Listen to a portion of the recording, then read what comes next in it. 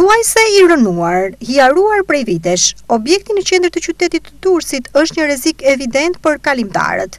Shumë pranë institucioneve të rëndësishme vendore si Prokuroria dhe Gjykata, objekti ka vite që ndodhet në këtë gjendje.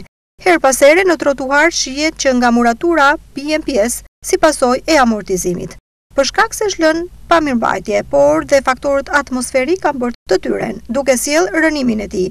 Në kushtet kur nuk mund të sigurohet mirëmbajtja apo shembja, ajo që kërkohet është që të sigurohet objekti për mos vënë në rrezik jetën e kalimtarëve.